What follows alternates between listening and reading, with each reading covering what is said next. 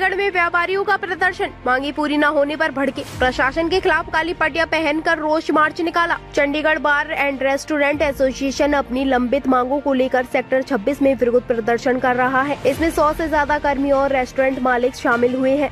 वह अपने आउटलेट बंद कर काले कपड़े पहनकर माथे पर काली पट्टी बाँध कर सेक्टर सात मध्य वर्ग से रोष मार्च निकाल रहे हैं। हाथों में मांगों की तख्तियाँ पकड़कर सरकार के खिलाफ रोष ज़ाहिर किया जा रहा है। एसोसिएशन की मुख्य मांगों में बैक कोर्टयार्ड कवर करने की इजाज़त सहित बाई लॉज में अन्य सेक्टरों के तहत बदलाव की नोटिफिकेशन किया जाना है। एसोसिएशन के पदाधिकारियों ने बताया कि यह लगभग नौ सालों से अपनी मांगों के लिए प्रशासन को गुहार लगा रहे हैं। इसके बावजूद उन्हें सांसद किरण खेर के आश्वासन व चंडीगढ़ के प्रशासक व चीफ आर्किटेक्ट के पक्के आश्वासन के बावजूद कोई इंसाफ नहीं मिला है। वहीं प्रशासन उनके आउटलेट सील कर नोटिस लगाने की कार्रवाई में लगा हुआ है। रेस्टोरेंट मालिकों ने कहा, सेक्टर 26 व सात के रेस्टोरेंट व क्लब चंडीगढ़ में सबसे ज़्यादा जीएसटी देते हैं। वहीं कई परिवारों का उनके ज़रिए रोज़गार चलता है। दूसरी ओर प्रशासन उन्हें अनदेखा कर रहा है। पदाधिकारियों ने चेतावनी दी है की अगर उनकी मांगों को पूरा नहीं किया जाता तो वह सड़क आरोप उतरने आरोप मजबूर हो जाएँगे।